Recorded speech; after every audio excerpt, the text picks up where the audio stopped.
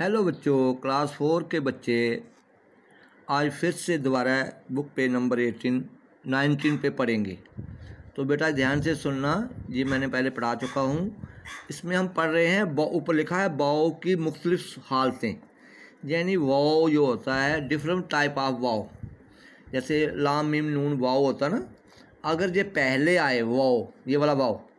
अगर पहले आए तो वाओ की आवाज़ निकालता है, जैसे बैन से बाओ।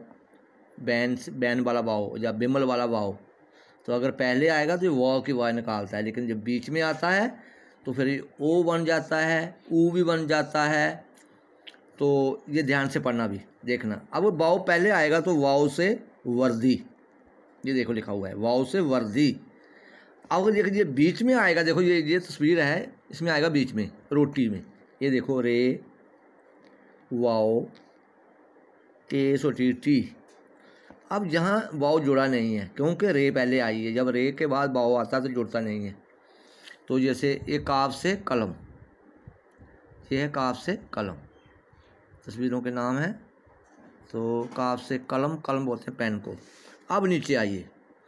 ये तो वाओ वो हो गया जो वाव की आवाज़ निकालता है, जैसे वाओ से बिमल वाओ से वैन वाओ से वर्क, यानी पेज। अब वाओ नंबर अल्फ पार्ट आया वाओ का। ये अल्फ पार्ट है वाओ मरूफ जैसे हिंदी में हम बोलते हैं। दीर्घू जो लंबी आवाज़ निकालता है वाओ इसका इस, ये कब लिखा जाता है? जब इसके ऊपर उल्टी मात्रा लगती है, यानी पेश इसके ऊपर ऐसे उल्टी लगाते हैं। जैसे ये वर्ड है नीचे, देखिए ध्यान से। ये लिखा हुआ है ऊन। तो इसको पढ़ना कैसे है? ये आल्फ लिखना, फिर बाओ लिखना, फिर नून लिखना, लेकिन बाओ के ऊपर उल्टी पेश लगानी है, उल्टी मात्रा। तो इसको पढ़ना है ऊन।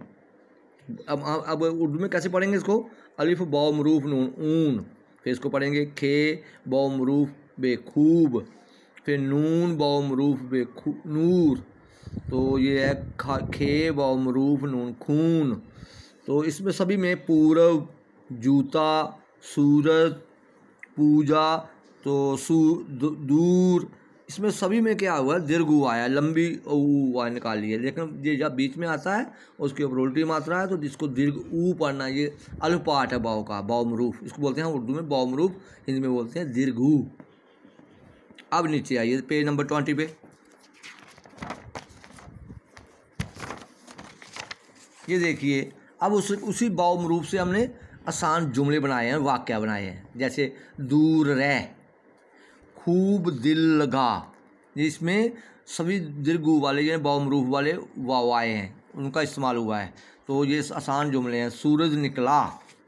ये देखिए, सूरत देख। पूर्व की तरफ़ मुड़।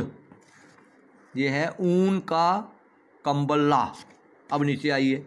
बेपाट ये बौ, वो है, इसको बोलते हैं बौ मजूल जब ये ओ की आवाज़ निकालता है। पहले आएगा तो वा की निकालता है बाओ अगर बीच में आएगा तो उल्टी पेश लगेगी तो दीर्घु बन जाता है, यानी बड़ा बौ मरूफ बन जाता है। लेकिन जब इसके ऊपर मात्रा नहीं लगती है तो फिर बनता है ओ। ये देखो, फिर ओ बन जाता है। जब इसके ऊपर कोई मात्रा नहीं होती है, बीच में आए, पहले नहीं, बीच में। जैसे चेव बाओ मजूल, रे, चोर। आप ऐसे सीधे पढ़ सकते हैं, चेव बाओ रे, चोर। किसके कोई मात्रा नहीं लगी है ऊपर। तो ये चोर, ये मोर, ये शोर, कौन, टोपी, गोल तो मोटी और रोटी, दौड़, सौदा, चोट इसमें सभी में ओ की आवाज़ निकाली है। कब लगता है जब वाओ बीच में जुड़ता है? उसके ऊपर कोई मात्रा नहीं आती, यानी कोई पेश नहीं आती है। तो इसको बोलते हैं बाओ मजूल। पहले को हमने पढ़ा है बाओ मरूफ। ठीक है? अब ये हो गया बाओ मरूफ। अगर बाओ पहले आए तो वह का आवाज़ निकालता है। अब नीचे आया ये।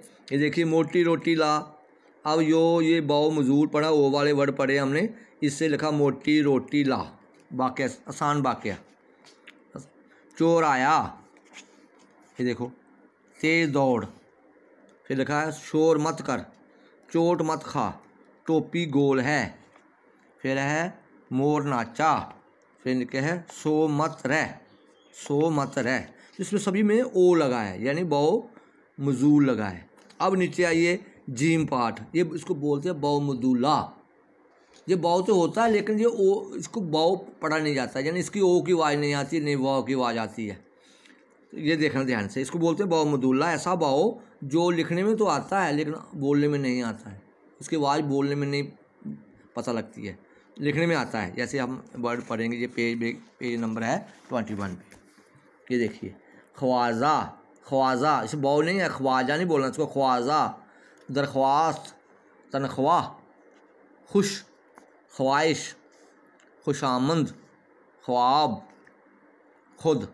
इसमें वाव तो लिखा गया है, लेकिन क्या हुआ इसमें? ओ की आवाज़ नहीं आई है। ध्यान से पता चल गया आपको?